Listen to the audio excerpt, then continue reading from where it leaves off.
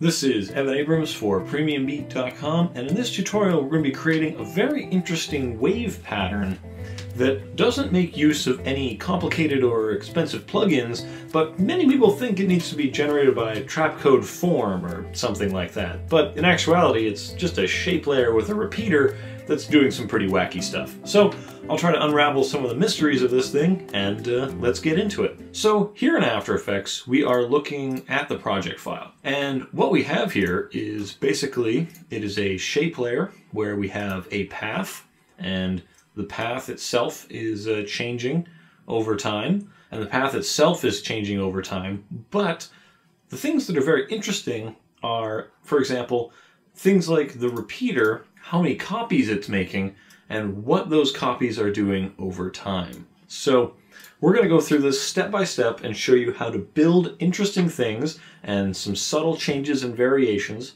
making use of the repeater to create these wonderful arcing, moving sort of uh, lines everywhere. They can be great for use in backgrounds and to create interest in otherwise vacant space. So the first thing to do is to create a new composition. We're going with 30 seconds long, HDTV 1080 29.97 seconds. Now we're going to create a new solid to serve as our background.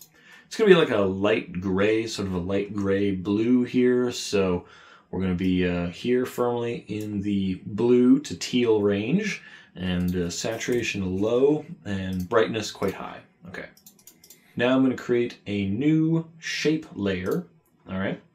And in this shape layer, I'm going to just take the pen tool and draw out a curve just like this. A nice, a nice subtle curve, nothing really to it, just right out here in the middle of everything. It's not going to have a fill, so make that go away, but it is going to have a stroke. Okay, and the stroke is going to be one of these linear gradient strokes. So this linear gradient I want to run from the one end here to the other end all the way down here. Now this gradient, as you can see, you can just click and drag, pull these handles around. You can edit by clicking up here, and I'm going to set both of the colors to be black. And I'm going to set the ending opacities, both ends over here, to be zero, and I'm going to set one opacity here in the middle at 50% to be at 100%. Okay, so that creates something like this that is see-through on the ends and visible in the middle. And the thickness of the line is going to be 2. So a nice thin wispy line given the size of our composition. Now, I'm going to take you through how to create the look that we're after. In terms of animating it, it's going to be just a matter of taking the values we put in and then offsetting them on either end, and uh, you'll see how it goes as we get into it. First thing we need to do is add that repeater. So we add the repeater, and the first thing you can see is that the repeater doesn't look all that interesting. Let's first set the copies here up to about 100, so there are a lot of copies. Now we're going to get into the transformation of that repeater by altering the position of this repeater to only offset things by 10 and 10. So it's creating a whole bunch of very close together things. Now we're going to also change the ending opacity to be zero. So as they get further away, they're going to get closer to zero. And now the big kicker is the rotation. I'm going to set a rotation of two. Now you can see what that does automatically is it starts to create this curve through the piece that they're curving that way. All right. See what happens when I start putting this up to things like three, like four, like five, starts to get even more complicated, all right? And then lower yet to one, to zero, and then into the negatives, we start to see spirals going this way, all right? So just keep those in mind, that we are at two. Now if we start to use even finer control, you can see there's a lot of subtle variation here that even looks interesting. All right, so we're setting that to two, and we're setting the scale to 99. That means that each subsequent copy is going to be 99% of the first copy. And most of the animation is going to come through animating the offset, all right? And that's going to cause things to look like they're spiraling through and towards the camera, okay? So let's start off with an offset of zero. We've created more or less the look we're after right here with this sort of tube of overlapping undulating stuff that is very complicated, it's very interesting, and now we just have to animate it to really bring out some of those qualities that we're interested in. All right, so the position, we're fine with it hanging out here. We're going to animate the offset for sure from something like uh, maybe like 100 to uh, here at 10 seconds, we would like it to be at uh, negative 100. So it's got a long time to sort of cruise through and do some things and undulate. That's totally fine. And on the way through, our current value for position, let's uh, subtract this a little bit. Let's go 8 and 8. And when it ends, I would like it to end at uh, 12 and 12. So the uh, in-between value would be 10 in there somewhere. Okay. The rotation, let's start it off at 1, and let's have it end, uh, let's have it end at 3. So somewhere in the middle, it's going to cross through that number 2 that we were interested in. Now the scale, likewise, I'd like to start at 101, and I would like it to end very neatly at 99, like this.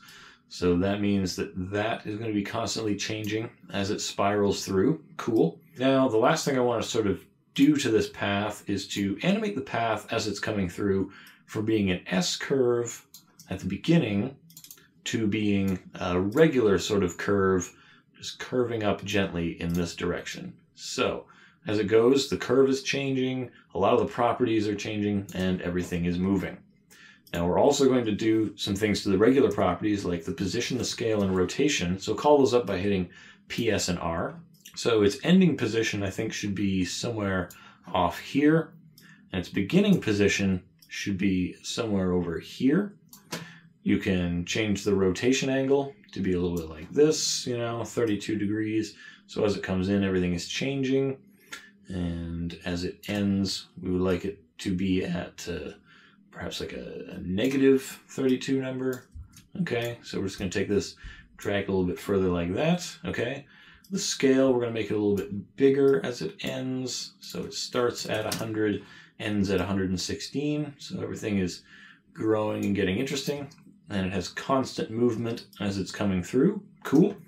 And that should be about it to create something interesting and weird. So this pattern continues to push and move through and be very confusing and undulating. However, the big thing that we want to do with this is really to get these patterns, right? And these patterns are caused simply by the overlap of lines many, many times, and it creates the illusion of depth and space. And that illusion is helped greatly because of the gradient that we put on that fades into the background, and that the older pieces are transparent and the newer pieces are opaque. So it makes them seem like they're more in the foreground. It's adding depth and character to this piece. But all in, that's all you need to do to smooth this thing along. One thing I would recommend is that you easy ease the ending keyframes just to give yourself more time with more of the interesting parts of the animation. But the rest of it is really going to come out of experimentation on your part and figuring out what works best for the piece that you are composing. But this is how you can save yourself a couple of bucks by not getting trapcode form and perhaps faking the thing that you were after creating all along.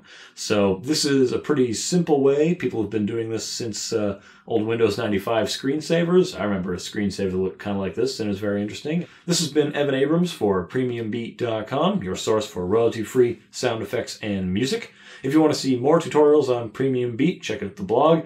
There you'll find tutorials by not only myself on After Effects, but other people about After Effects and other people about other subjects. There's just a whole wealth of information there. And if you want to see more of my tutorials specifically, check out evanabrams.com, hit me up on Twitter at ecabrams, or check out my YouTube channel, uh, ecabrams on the YouTubes. That's that's good stuff, I'm told. Anyway, hopefully you've enjoyed this. Subscribe to all of Premium Beats content to get to get regular updates and new tutorials when they come out. And uh, if you're subscribed, then I'll probably see you next week and around the internet for more stuff. Thanks again for watching, and have a nice day.